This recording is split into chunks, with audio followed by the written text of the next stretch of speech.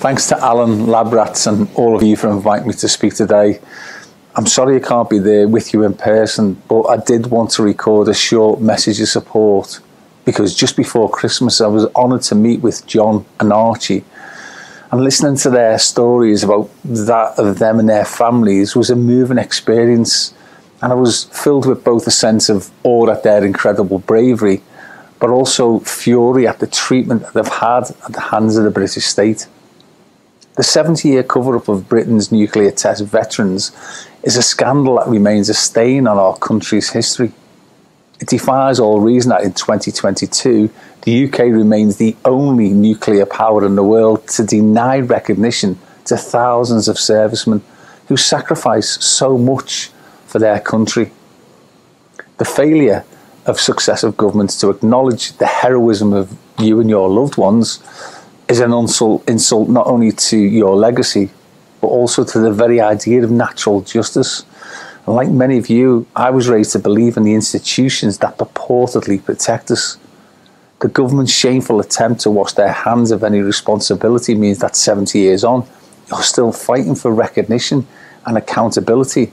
And unfortunately, your case is not an outlier.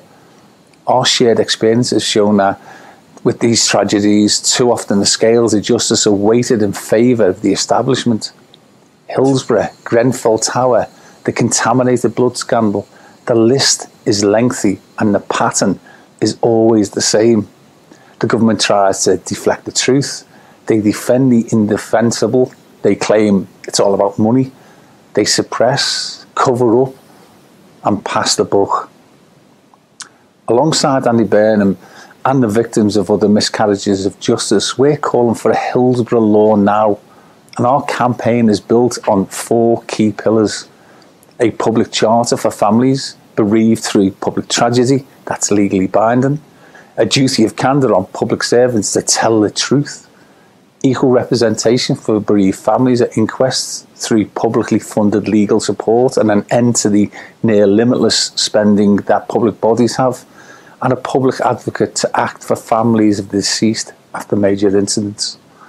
But we know that we can't turn the hands of time back about Hillsborough, but we don't want anybody to go through the same struggles for truth and justice.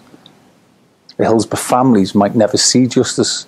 To this day, nobody's been held accountable for the deaths of 97 people unlawfully killed in 1989. But with your support, we can ensure that there's a legacy to rebuild the imbalance in the political and judicial systems in this country. So, have a great day as best as you can, um, and hopefully next time I'll see you all face to face. But you've got my support.